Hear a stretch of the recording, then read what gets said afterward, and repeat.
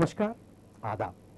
आप देख रहे हैं हमारा विशेष बिहार का एमपी कनेक्शन मैं हूँ रिजवान अहमद सिद्दीकी। बिहार में चुनाव प्रचार के अंतिम दिन मध्य प्रदेश के मुख्यमंत्री शिवराज सिंह चौहान ने तीन रैलियों को संबोधित किया और वहाँ अपनी उपलब्धियाँ गिनाई। ऐसा नहीं है कि मध्य प्रदेश के मुख्यमंत्री ही चुनाव प्रचार के लिए बिहार गए हों। बिहार चुनाव की नैया पार कराने के लिए प्रदेश से कई बड़े नेता चुनाव अभियान में शामिल हुए। केंद्रीय मंत्री नरेंद्र सिंह तोमर हों या फिर कैलाश विजयवर्गीय। प्रभात झा हों या फिर अरविंद मेनन। अगर हम मध्य प्रदेश और बिहार के कनेक्शन की बात करें तो बिहार की राजनीति में अपना लोहा मनवाने वाले जेडीयू के अध्यक्ष और सांसद शरद यादव मध्य प्रदेश के ही रहने वाले और बीजेपी उपाध्यक्ष प्रभात झा की कर्मभूमि ज़रूर मध्य प्रदेश है, लेकिन उनकी जन्मभूमि बिहार है। शरद यादव बरसों पहले बिहार की भूमि में अपना राजनीतिक लोहा मनवा चुके हैं। तो इस बार बीजेपी के कई दिग्गज पार्टी को मज़बूत करने के लिए बिहार का चप्पा चप्पा छान रहे हैं। जी हाँ यही है हमारा आज का विशेष बिहार का एमपी करेक्शन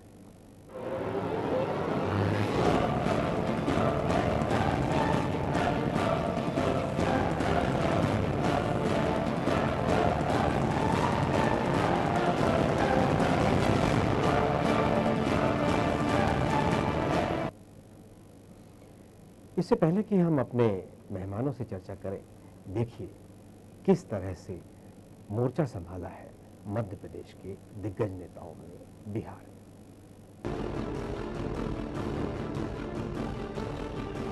बिहार चुनाव प्रचार थम गया है। सियासी आरोप प्रत्यारोप पहले चरण के चुनावों के लिए आखिरी दिन चरम पर रहा।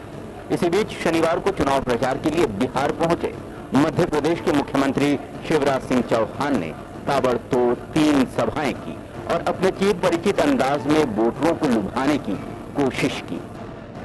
बिहार का किसान पूरे हिंदुस्तान के अन्न के भंडार को भर देगा ये मेरे विश्वास से बहना इसलिए भारतीय जनता पार्टी की सरकार बनना चाहिए। क्या कभी लालू ने सोचा? क्या कभी नीतीश कुमार ने सोचा? मेरे बहनों और भाइयों, मैं आपसे निवेदन करना चाहता हूँ, खेती को फ़ायदे का धंधा बनाना, लेकिन गरीबों को की ज़िंदगी को भी आसान बनाना बिहार चुनाव प्रचार में मध्य प्रदेश के नेताओं की भी बड़ी भूमिका रही है। बीजेपी मध्य प्रदेश संगठन के नेताओं का चुनावी रण में लोहा माना जाता है। प्रदेश में तीसरी बार बीजेपी की सरकार बनने से संगठन के पकड़ का अंदाज़ा लगाया जा सकता है। देश के किसी भी राज्य में चुनाव हो मध्य प्रदेश के मंत्रियों को ज़िम्मेदारी ज़रूर मिलती है। बिहार चुनाव में भी प्रदेश के बीजेपी नेताओं को बड़ी ज़िम्मेदारी मिली है। इनमें केंद्रीय मंत्री नरेंद्र सिंह तोमर हो, या फिर कैलाश विजयवर्गीय प्रभात झा हो, या फिर अरविंद मेनन। हर कोई अपना जादू मध्य प्रदेश में चला चुका है। बिहार चुनाव की नैया पार कराने के लिए प्रदेश से करीब आधा दर्जन नेताओं को ज़िम्मेदारी मिली है। अगर हम मध्य प्रदेश और बिहार के कनेक्शन की बात करें तो बिहार की राजनीति में अपना लोहा मनवाने वाले जेडीयू के वरिष्ठ नेता और सांसद शरद यादव मध्य प्रदेश के ही रहने वाले हैं। और बीजेपी उपाध्यक्ष प्रभात झा की कर्म भूमि ज़रूर मध्य प्रदेश है, लेकिन उनकी जन्मभूमि बिहार है। बिहार चुनाव में नरेंद्र सिंह तोमर को भोजपुर, बक्सर, रोहतास व कैमूर की 22 सीटों का जिम्मा मिला। प्रदेश सरकार में मंत्री के तौर पर लंबी पारी खेलने वाले कैलाश विजय वर्गीय को भी बीजेपी केंद्रीय संगठन ने पटना शहर, पटना ग्रामीण व बाढ़ की 14 सीटों की ज़िम्मेदारी दी है। मध्य प्रदेश बीजेपी इसे अपने चुनावी कौशल में महारत को लेकर देख रही है। देश भर में जहाँ कहीं भी चुनाव होते हैं मध्य प्रदेश के कार्यकर्ता उनकी मदद करते हैं। और हमारे कार्यकर्ताओं की मध्य प्रदेश में जो प्रशिक्षण का असर है कि उनका काम और प्रबंधन इतना अच्छा होता है कि जहाँ भी वो गए हैं निश्चित तौर पर हमें सफलता मिली है। एक तरफ़ मध्य प्रदेश के दिग्गज नेता बिहार चुनाव के समीकरण को भुनाने में लगे हुए हैं वहीं दूसरी तरफ़ कांग्रेस ने अपने ही अंदाज में बीजेपी पर निशाना साधा। है कांग्रेस ने कहा है कि मध्य प्रदेश बीजेपी के नेता अब पीछे पड़ चुके हैं। हरियाणा, महाराष्ट्र मध्य प्रदेश के बीजेपी नेताओं ने भले ही जीत दिलाई हो, लेकिन दिल्ली इलेक्शन की ज़िम्मेदारी भी मध्य प्रदेश के नेताओं पर ही थी, जहाँ पूरे प्रदेश के 5000 कार्यकर्ता लगातार काम करते रहे। उसके बाद भी बीजेपी को महज तीन सीटें मिली। ऐसा पहली बार नहीं हुआ है कि मध्य प्रदेश के नेता किसी दूसरे प्रदेश के चुनाव का हिस्सा बने हों। लेकिन बिहार का चुनाव इन नेताओं के लिए अग्नि परीक्षा से कम नहीं है।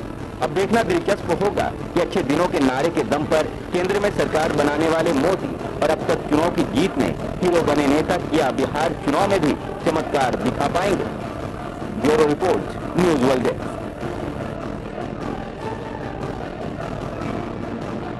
तो आपने देखा किस तरह से मध्य प्रदेश के नेताओं ने मोर्चा संभाल लिया है। मध्य प्रदेश के एक नेता शरद यादव। उन्होंने बिहार जाकर किस तरह से मध्य प्रदेश के नेता होने के बावजूद बिहार में कई लोकसभा चुनाव जीते और वहाँ की राजनीति के वो धुरी बन गए। इसी तरह से आज मुख्यमंत्री शिवराज सिंह वहाँ पहुँचे और उनका अपना अंदाज था। उनका अपना तरीका है खेती को।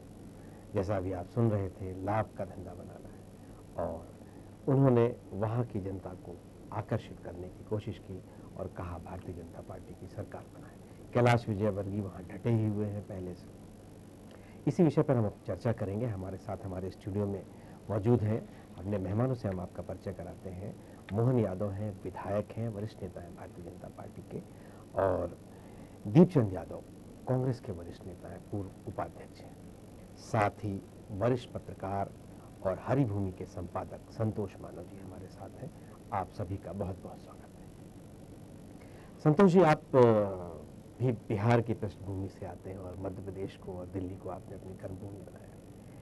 कैसे देख रहे हैं आप बिहार के चुनाव को? और मध्य प्रदेश के नेता वहाँ काफ़ी बड़ी संख्या में हैं। चुनाव प्रचार थम गया है और अंतिम, जो पहले चरण के चुनाव की जो अंतिम कवायद है, जो चुनावी सभा या मतदाता को अपनी ओर आकर्षित करने के, वो सारे समय निकल चुका है। अब आप कैसे देखते हैं? बिहार का चुनाव बहुत महत्वपूर्ण है। और कई नेताओं का भाग्य वहाँ लिखा जा रहा है। अगर महागठबंधन की पराजय होती है तो यह लालू यादव के लिए बहुत बड़ा झटका होगा। मुझे लगता है कि पराजय के बाद उनका राजनीतिक सफ़र थमेगा। और जी, और वो कोशिश कर रहे थे कि उनके परिवार के लोग राजनीति की मुख्य धारा में आ जाए, यह भी प्रभावित होगा।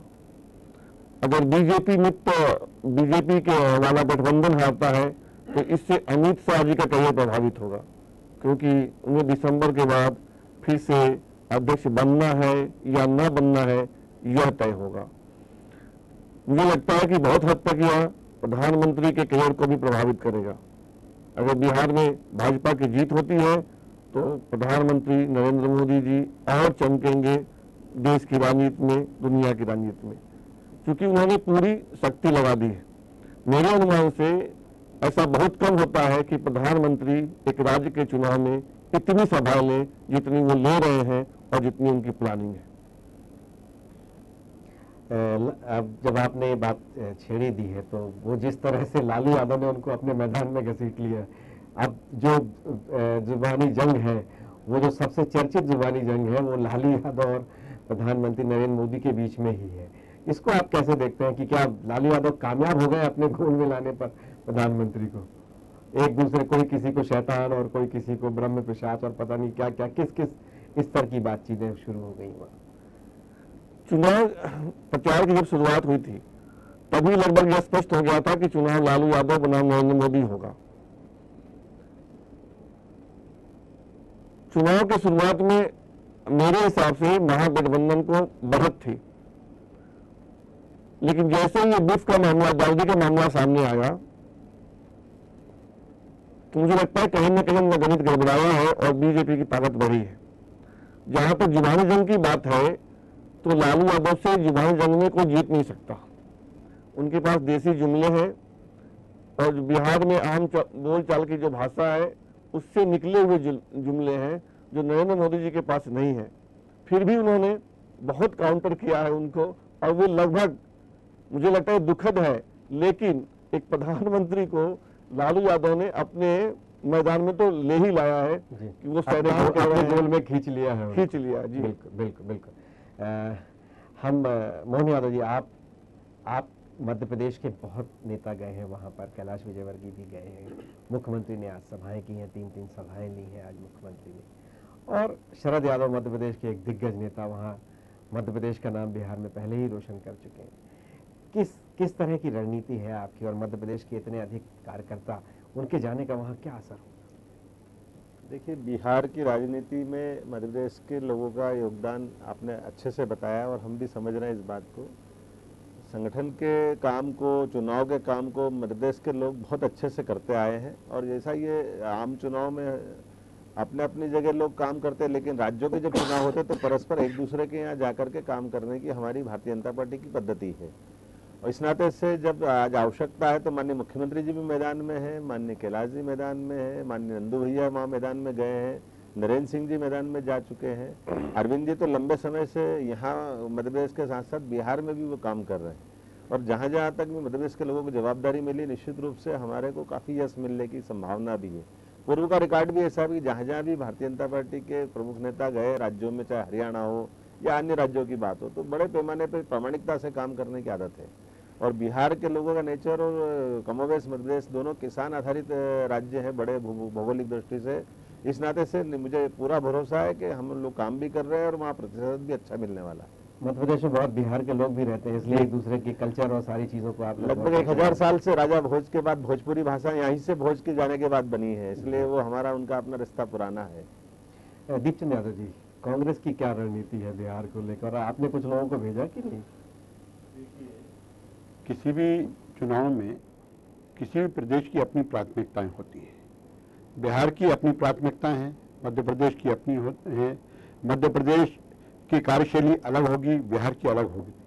मैं समझता हूँ कि ये सबसे बड़ी भारतीय जनता पार्टी है, नरेंद्र मोदी की पराजय सबसे बड़ी ये है कि प्रधानमंत्री को इतना ज़्यादा समय वहाँ देना पड़ रहा है और वो वहाँ पर एक तरह से बिहार में उलझ के रह गए हैं। एक सबसे बड़ी में तो पराजय यहाँ पर भारतीय जनता पार्टी की और केंद्र सरकार की और बाकी पूरी तमाम इसकी उसमें दिख, दिखाई दे रही है। और जिस तरह का वहाँ पर भाषा का प्रयोग किया जा रहा है इस चुनाव के अंदर और लालू यादव क्या कहते हैं या दूसरे लोग क्या कहते हैं उनका स्तर एक देश के प्रधानमंत्री का स्तर और उसकी भाषा में बहुत फ़र्क होता है। देश के प्रधानमंत्री से अपेक्षाएँ होती हैं कि वे देश को किस तरफ़ ले जाएँगे उस के तरफ़ अपनी बात करें, बिहार को किस तरफ़ देंगे और इस तरह से जिस तरह से आश्वासन दिए गए हैं। पैकेज देने की बात की, प्रधानमंत्री की तरफ़ से, ये तो बड़े सोचने की बात है कि जब तक आपके बजट में प्रावधान नहीं होंगे, किसी भी चीज़ के लिए किसी रुपये को रिलीज़ करने के लिए आपको आपको थोड़ा सा रिजवान भाई मैं आपको ये देश की जनता को गुमराह करने का एहसास कराना चाहता हूँ। मैं आपको विषय का ध्यान दिलाना चाहता हूँ। हाँ मैं मुझे मध्य प्रदेश के मुख्यमंत्री मैं वही मैं वही वही आ रहा हूँ। को मैं मैं मध्य प्रदेश के मुख्यमंत्री पर ही आ रहा हूँ। क्योंकि मुख्यमंत्री मध्य प्रदेश के जो गए हैं देश के प्रधानमंत्री से ऊपर तो वो नहीं है। जहाँ पर देश का प्रधानमंत्री अपना खून पसीना पूरा भा रहा, पूरा समय दे रहा हो, और वहाँ पर या तो ये माने कि शिवराज उनसे मोदी जी से ऊपर चले गए। ये तो मैं समझता हूँ कि अभी थोड़ा समय लगेगा।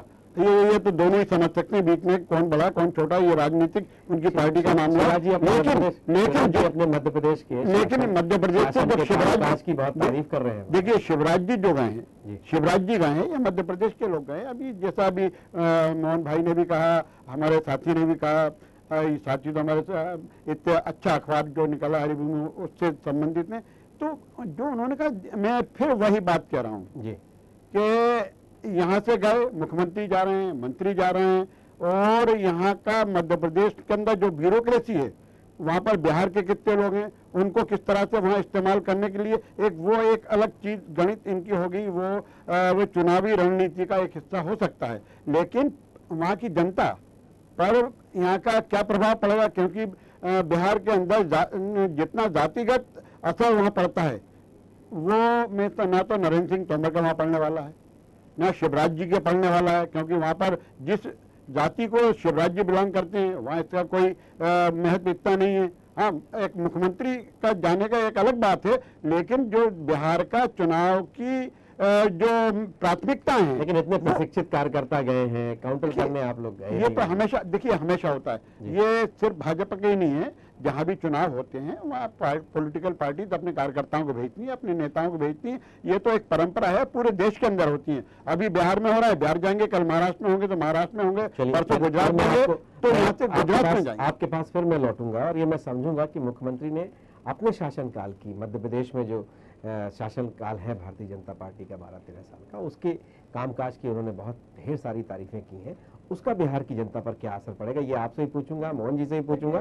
मैं मैं मैं आपसे पूछूँगा लेकिन अभी मैं उनकी जनता ये भी पूछेगी कि भारतीय जनता पार्टी ने जो केंद्र में नरेंद्र मोदी जी जो इतना उछल कूद कर रहे हैं उन्होंने जो वादे किए थे देश की जनता को गुमराह किया था? उन्होंने वादे क्या पूरे मेरा आपसे आग्रह है कि आज मध्य प्रदेश के नेताओं का दिन है बिहार में। वहाँ ढेर सारे नेता हैं। हम अगर उस विषय पर सीमित रहेंगे तो मुझे लगता है कि हम उस उस विषय पर चर्चा कर पाएँगे और बेहतर न्याय कर पाएँगे। मैं आपको अभी रोक रहा हूँ। उर्कम जी आपको क्या लगता है? मुख्यमंत्री ने अपने सरकार के कामकाज और बहुत तरह की चीज़ों की बातचीत की है। मध्य प्रदेश में बीते कुछ वर्षों में वर्षों में जिस भी तरह के कामकाज हुए हैं जो भी घटनाक्रम रहा है मध्य प्रदेश के मतलब यश अपयश वो सारी तरह की चीज़ें बिहार में भी पहुँची होंगी। और बिहार के लोग तो इस मामले में बहुत अधिक जागरूक हैं। इसलिए कि वो उनके पास काफ़ी वक्त भी होता है और बहुत चर्चाएँ करते हैं।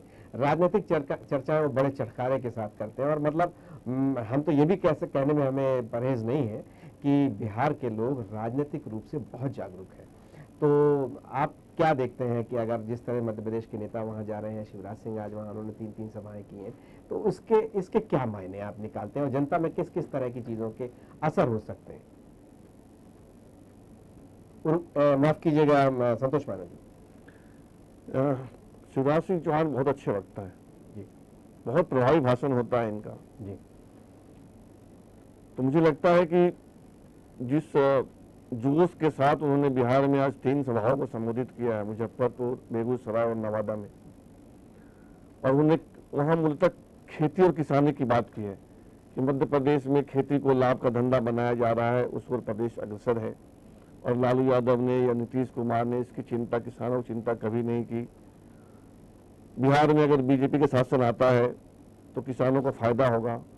तो मुझे लगता है कि बीजेपी ने एक खास रणनीति के तहत शिवराज सिंह चौहान को भेजा है वहाँ कि उनकी भाषी उनका, उनका भाषण कला उनकी शैली और मध्य प्रदेश जो पहले भी मारू राज्य कहा जाता था और अब विकसित राज्यों की श्रेणी में आ गया है। ये चीज़ें वहाँ बिहार की जनता को बताई जाए। तो मुझे लगता है कि कहीं ना कहीं कुछ ना कुछ फ़ायदा तो बीजेपी को बिहार में मिलेगा ही शिवराज सिंह के कारण। मोहन जी आप क्या उम्मीदें करते हैं? किस किस तरह से फ़ायदा मिलेगा वहाँ पर? देखिए अब इलेक्ट्रॉनिक युग आ गया है और ऐसे में संचार क्रांति जो हुई है तो हर राज्यों के अंदर के हलचल से आसपास के राज्य प्रभावित हो जाते हैं। तो मैं निश्चित रूप से जब हमारे यशस्वी मुख्यमंत्री और जिस ढंग से उनने अपने इस राज्य को, बीमारू राज्य से बाहर ले जाकर निकाल के दिखाया है, अब बिहार के लोग भी जानते हैं इस बात को मध्य प्रदेश को आगे बढ़ने में जिस ढंग का बड़ी भूमिका माननीय मुख्यमंत्री की रही है। तो निश्चित रूप से मुख्यमंत्री जी की बात का वज़न भी है, उनका असर भी है और मुख्यमंत्री जी ने जो सभाएँ ली हैं, हम भी मान के चलते कि उसका चुनाव में लाभ मिलेगा। अभी मैं थोड़ी देर पहले जब माननीय दीपचंद यादव साहब कह रहे थे, मैं उस बात की तरफ़ ध्यान आकर्षित कराना चाहूँगा कि ये एक बड़े स्टेट में जब चुनाव होते हैं तो उस स्टेट में बहुत सारे नेता लगते हैं। उसमें प्रधानमंत्री भी लग रहे हैं, मुख्यमंत्री भी लग रहे हैं। एक बहुत ज़रूर बात है, एक फ़र्क आया है कांग्रेस का और बीजेपी की सोच कर, हमारे अब नगर निगम के चुनाव हो या प्रदेश के चुनाव हो या राष्ट्रीय चुनाव। इसमें सब नेताओं की भूमिका मुख्यमंत्री प्रधानमंत्री समान रूप से आजकल लेने लगे। मैं समझता हूँ कि खास करके जब आपने सबने देखा होगा कि प्रधानमंत्री जब देश के बाहर के दौरे करते तब भी कांग्रेस के लोग उसमें प्रश्न खड़ा करते हैं। अब जब राज्य के अंदर जा रहे हैं तो प्रश्न खड़ा कर रहे हैं। अब ये अपना धर्म निभा रहे हैं। असली मूलतः राजनीतिक क्षेत्र में हमारे अपने नेता का अपना चेहरा एक वज़न रखता है और उसके लिए अपनी उपलब्धि दिखाने का ये मंच होता है। और ऐसे में प्रधानमंत्री को कोई बड़े राज्य में जाकर के अपनी बात कहते तो वो सामूहिक भी रहती है और वो स्वाभाविक रूप से वो ऐसी कोई जो छोटे मोटे आते इसमें, कहीं कोई नेतृत्व का संकट तो नहीं है कि बिहार के पास आप बिहार नहीं, नेता नहीं प्रधानमंत्री को नहीं नहीं पहले कहा मैंने पहले कहा कि कांग्रेस के पास तो नेता नहीं है इसलिए वो बिहार में किसको ले जाए? कांग्रेस प्रधानमंत्री के रूप में हमारे पास है गठबंधन का नेतृत्व तो नीतीश कुमार का मैंने यही तो कहा हो कांग्रेस- हैं तो- सबसे लोकप्रिय मुख्यमंत्री के तौर पर सामने भी आ रहे हैं मैंने क्या कहा मुकाबला अगर हम बात करें मुकाबला प्रधानमंत्री नरेंद्र मोदी और नीतीश कुमार के बीच में हो रहा है और जो जवानी जंग है वो लालू और प्रधानमंत्री के बीच में हो रही तो सारा कुछ प्रधानमंत्री के घूमने लगा है। ये ये सारी ये ये एक रणनीति का हिस्सा है और रणनीतिक रूप से आप चूक गए। मैंने कहा कि पहले भी आप देखिए बिहार का पिछला चुनाव जब नीतीश और लालू परस्पर आमने सामने लड़े थे उनके अपने रिज़ल्ट हमारे सबके सामने थे। ये बात सही थी कि राजनीतिक धरातल पे दोनों का अपना अपना बड़ा वोट बैंक था लेकिन बीजेपी की ताकत जिस ढंग से निकल करके लोकसभा में आई है उसकी घबराहट है कि लालू और बाकी सारे लोग नीतीश कुमार और अन्य लोग भी मिलकर के अब वो महागठबंधन की बात ज़रूर कर रहे हैं। लेकिन उनको मालूम है कि महा का महा हट गया, खाली गठबंधन रह गया है। जिस ढंग से भाजपा ने अपनी ताकत बढ़ाई है, जिस ढंग से भाजपा अपनी वहाँ विजयी होने की स्थिति में आगे बढ़ रही है। अभी अभी एक एक बात कह रहे थे माफ़ कीजिएगा, संतोष मानव जी, अभी एक बात कह रहे थे। और वो कह रहे थे कि जब विकास से आपने चुनाव अभियान शुरू किया था तो आप पीछे थे। फिर ये बीच में आशीर्वाद मिल गया माता का और फिर काफ़ी आगे बढ़ गए।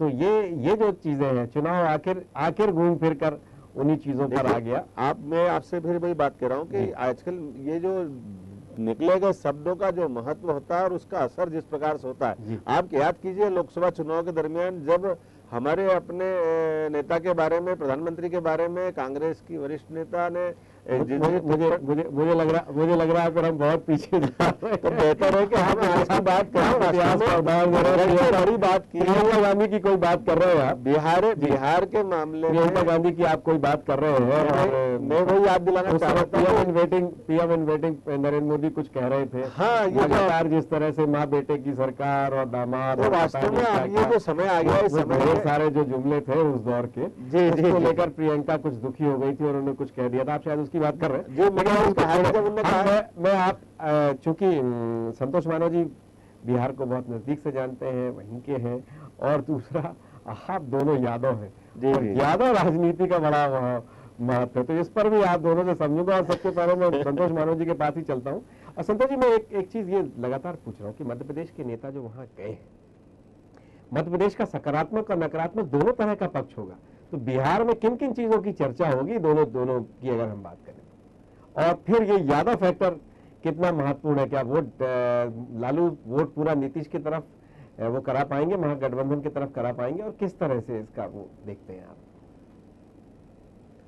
देखिए इसमें मध्य प्रदेश और राजस्थान ये दो राज्य हैं। इनकी बहुत बड़ी भूमिका है इस बार बिहार के चुनाव में।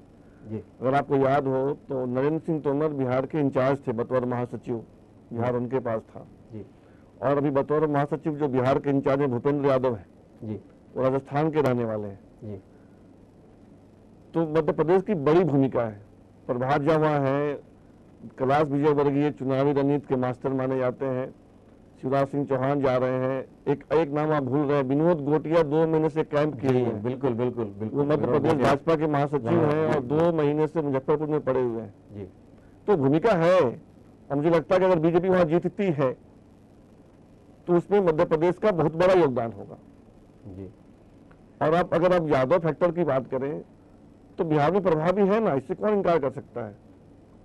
लेकिन मुझे लगता है कि उस वोट बैंक पे जो एक छत्र राज लालू यादव का था वो अब नहीं है। जी। अगर ऐसा होता तो लोकसभा में जो भाजपा को इतनी बड़ी विजय मिली वो नहीं मिलता। जी। और इस बार भी देखिए आप कि पप्पू यादव के नेतृत्व में एक मोर्चा है। और पप्पू यादव कई दफ़ा निर्दलीय चुनाव जीतते हैं मधेपुरा से।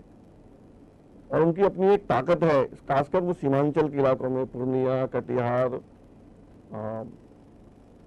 किशनगंज, ये जो चार पाँच ज़िले हैं, इसको सीमांचल का जिला बोलते हैं, इसमें उनकी अपनी ताकत है और उन्होंने दो तीन पार्टियों के साथ मिलकर एक मोर्चा बनाया है। तो ये कहीं ना कहीं नुकसान पहुंचाएगा महागठबंधन को। दूसरा एक एक, मोर्चा है वो मुलायम सिंह यादव का मोर्चा है जिसमें एनसीपी है शरद पवार की पार्टी है और कई पार्टियाँ हैं। और ये 240 सीटों पर चुनाव लड़ रही है 243 में से 240 पे। तो ये कहीं ना कहीं महागठबंधन को ही नुकसान पहुँचा रहा है। और आप बीजेपी की तरफ़ से देखिए कितने नेता लगे हुए हैं लालू यादव के पीछे। लालू यादव कहते हुए हैं कि बीजेपी ने हमारे पीछे यादवों को छोड़ दिया है। नंद किशोर यादव विपक्ष के नेता है राम कृपाल यादव केंद्रीय मंत्री हैं भूपेन्द्र यादव बिहार भाजपा के इंचार्ज हैं ओम प्रकाश यादव सिवान से सांसद हैं। तो एक एक बड़ा आपको, क्या लग रहा है भाई यादवी संघर्ष होने वाला है या फिर यादव एक एक नेता यादव लालू यादव इंद्र नारायण यादव केंद्रीय मंत्री रहे हैं वो भी सांसद है बीजेपी के। जी। एक पूरी फौज बीजेपी ने लालू यादव मतलब लालू लालू यादव बहुत महत्वपूर्ण है। बहुत चुनाव लड़ने का अधिकार खत्म हो गया चारा घोटाले में आरोपी मतलब अब तो सजा आता भी है। सारी चीज़ों के बाद भी लालू यादव लालू यादव इसलिए इसलिए भी फोकस में है कि वो बड़े अच्छे वक्ता हैं। और वो बड़े आक्रामक भाषण देते हैं। जी जी। तो बीजेपी ने पाँच सात नेताओं को यादव नेताओं को ही उनके पीछे लगा दिया है। तो बहुत। कड़ा मुकाबला बीजेपी की तरफ़ से उस खास वोट बैंक को लेकर भी महागठबंधन को मिल रहा है। बिल्कुल दीपचंद यादव जी, आप हमारे साथ जुड़े, मोहन यादव जी, आप हमारे साथ जुड़े और संतोष मानव, आप हमारे साथ जुड़े। आपका बहुत बहुत धन्यवाद। अंतिम चरण का चुनाव होने वाला है। अभी तो कई चुनाव और भी होंगे बिहार में, लेकिन जो पहले दौर का चुनाव है, उस पर भी सबकी निगाह है और फिर नतीजों पर भी होगी। वहाँ कौन सा अभियान सबसे अधिक कारगर हुआ, विकास महत्वपूर्ण था या कुछ और? वहाँ चुनाव अभियान के लिए ज़रूरी था। लेकिन इसके साथ ही मध्य प्रदेश के नेताओं की भी साख वहाँ दांव पर लगी हुई है। मुख्यमंत्री शिवराज सिंह ने अपनी सभाएँ की हैं। इसके अलावा कैलाश विजयवर्गीय, जिनको कई चुनाव जीतने का सहरा उनके सर बंधा है, चाहे वो हरियाणा का रहा हो या किसी अन्य प्रदेश का तो इस बार फिर उनके भी, उनको ज़िम्मेदारी बिहार में दी गई है। तो उनकी भी साख दांव पर है इन नेताओं की। अब सबसे बड़ी साख लेकिन प्रधानमंत्री नरेंद्र मोदी तो अब देखना है कि बिहार की जनता किस तरह का फैसला करती है। हमारे इस कार्यक्रम में बस इतना ही। न्यूज़ वर्ल्ड में खबरों का सिलसिला जारी रहेगा। कल फिर हम मिलेंगे एक नए मुद्दे के साथ। तब तक मुझे दीजिए इजाज़त।